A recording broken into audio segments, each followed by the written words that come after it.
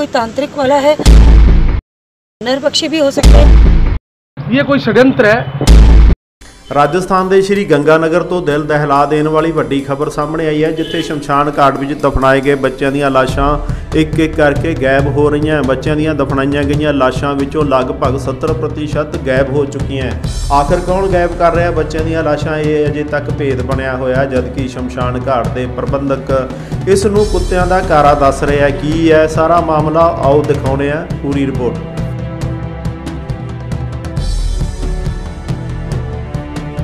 ਸ਼੍ਰੀ ਗੰਗਾਨਗਰ ਦੇ ਸ਼ਮਸ਼ਾਨ ਘਾਟ ਵਿੱਚ ਦਫਨਾਏ ਗਏ ਬੱਚਿਆਂ ਦੀਆਂ ਲਾਸ਼ਾਂ ਇੱਕ ਇੱਕ ਕਰਕੇ ਗਾਇਬ ਹੋ ਰਹੀਆਂ। ਹੁਣ ਤੱਕ ਸੈਂਕੜੇ ਬੱਚਿਆਂ ਦੀਆਂ ਲਾਸ਼ਾਂ ਗਾਇਬ ਹੋ ਚੁੱਕੀਆਂ ਕਬਰ ਵਿੱਚ ਦਫਨਾਈਆਂ ਗਈਆਂ ਬੱਚਿਆਂ ਦੀਆਂ ਲਾਸ਼ਾਂ ਦੀ ਥਾਂ ਖਾਲੀ ਖੱਡਿਆਂ ਤੋਂ ਇਲਾਵਾ ਹੋਰ ਕੁਝ ਨਜ਼ਰ ਨਹੀਂ ਆ ਰਿਹਾ।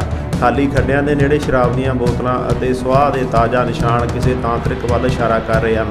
ਇਸ ਗੱਲ ਦਾ ਖੁਲਾਸਾ ਉਸ ਵਕਤ ਹੋਇਆ ਜਦੋਂ 2 ਦਿਨ ਪਹਿਲਾਂ ਦਫਨਾਈ ਗਈ ਬੱਚੀ ਦੀ ਲਾਸ਼ ਕਬਰ ਵਿੱਚੋਂ ਗਾਇਬ ਪਾਈ ਗਈ।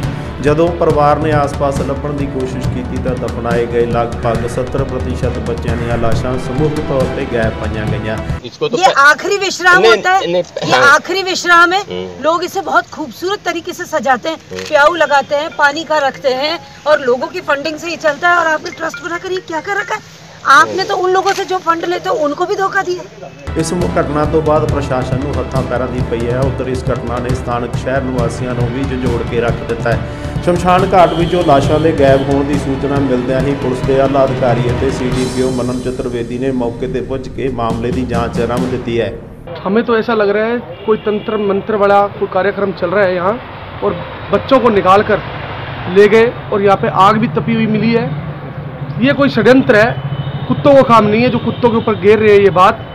और कुत्ते इतनी बीस बीस फुट की दीवारें और एंगले गेट इतने बड़े और कुत्ते ले जाएँ और चलो कुत्ते ले भी गए खा भी गए कोई हड्डियों के शब्द तो मिलेंगे यहाँ कुछ तो मिलेगा अपने को मगर यहाँ कुछ भी नहीं मिला है। ऐसे लगता है इनकी कोई जो यहाँ के कर्मचारी हैं इनकी मिली भगत है।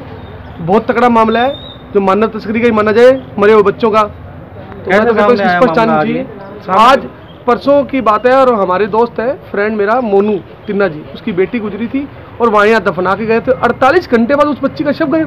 तो लगभग यहाँ पे जितने शव है वो सभी गए सभी गायब है। कम ज़्यादा अधिकतर 70 परसेंट बच्चे गायब हैं यहाँ से। जितने भी यहाँ पे बच्चे की डेथ हुई है 70 परसेंट बच्चे गायब कर दिए गए। एविडेंसेस यहाँ पर इतनी सारी पब्लिक के साथ देखे हैं ये किसी कुत्ते का काम किसी भी हालत में नहीं लग रहा, क्योंकि सब जगह फावड़े के निशान एक, दो, तीन लगातार उसकी चोटों के निशान दिख रहे हैं और दूसरा खुरपियाँ यहाँ पर रखी हुई हैं। बड़े लोगों की भी हड्डियाँ यहाँ पे हैं और फ्रेश जो यहाँ के जो रक्षक हैं, जिनकी एक कमेटी है, उन्होंने पहले सामने वाली उसमें कहा कि ऐसा नहीं है, हम लोग आजकल यहाँ बंद कर चुके हैं। सामने जगह है तो सामने रखते सामने की स्थिति बहुत ही ज़्यादा ख़राब है और ये दो जगहों पे या तो कोई तांत्रिक वाला है या कुछ और है, लेकिन ये कर हाँ नर पक्षी भी हो सकते हैं, जैसा यहाँ पर बात आ रही है। ये देखने का विषय है और अभी एसपी साहब को भी कॉल किया है और इसके बाद में तुरंत देखा जाएगा और जाँच की जाएगी। में यहाँ कोई छोटे बच्चों को दफनाया गया है, वो सब के सब यहाँ एक बच्ची जी को अड़तालीस घंटे पहले तो फना के गए थे। आज उसके लिए जो भी पूजा पाठ के लिए आई, वो बच्ची यहाँ उपस्थित नहीं मिली उसको। उसके सूचना पे हम यहाँ आए तो देखे, बच्ची उस जगह नहीं है जिस जगह दफनाए गए हैं। इसके आसपास भी हमने बहुत से खड्डे देखे हैं। तो जहाँ जिन भी बच्चों को दफनाए गए हैं, वो कोई भी उनमें अब नहीं है। बाकी इसके तो, तो तफ्तीश का विषय इस संस्था में कौन कौन लोग हैं, किसका यहाँ आने जाना है, उन सब के बयान लेके जो भी आगे विधि समझ जो भी होगा, वो आपको बता दें bureau report, prime Punjab news, Sri Ganganagar. ਵਧੇਰੇ ਜਾਣਕਾਰੀ ਲਈ ਅਤੇ ਸਾਡੇ ਨਾਲ ਜੁੜੇ ਰਹਿਣ ਲਈ ਤੁਰੰਤ ਸਬਸਕ੍ਰਾਈਬ ਕਰੋ ਪ੍ਰਾਈਮ ਪੰਜਾਬ ਨਿਊਜ਼।